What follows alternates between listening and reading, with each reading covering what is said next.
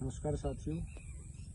तो इस टाइम अंजीर की तुड़ाई भी चल रही है, लेकिन ये देखो माइट्स की प्रॉब्लम आ रही है। इसमें ये देखो मकड़ी ऐसे जाड़ा बनाती है और ये पत्ते को पूरे को खा जाती है। यही बीमारी है इस पे, और मतलब यही आती है। कई प्लांट पे मैंने देखी है। अभी नहीं देख। ये बीच बीच में देखो ये, जैसे पत्ते, ये पत्ते को पूरा, जिस पत्ते पर लग गया तो उसको ये जाड़ा बना के और पत्ते को खा जाती है। और ये साथ के साथ इसमें एप्पल वेयर में भी है। चलो, एप्पल वेयर पे तो कोई फ्रूटिंग नहीं। लेकिन इस पर अब हमने साथ के साथ तो ये फ्रूट तोड़ के बेचना है और इसको रोकना भी है। तो क्योंकि कोई केमिकल तो हम वैसे स्प्रे करते नहीं और अब कोई स्टेज नहीं, क्योंकि पर डे फ्रूट तोड़ना है और ये बीमारी भी रोकनी है।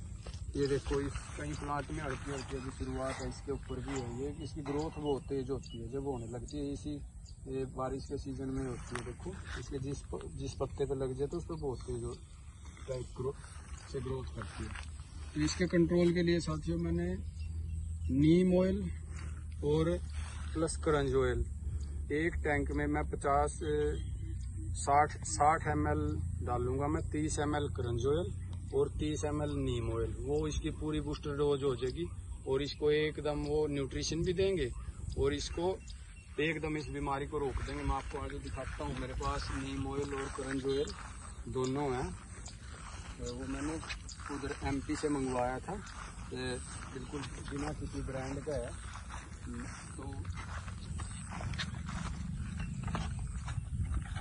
देखो, इसमें तो करंज ऑयल है, ये मैंने वहीं से मंगवाया था। ये एक साल पहले।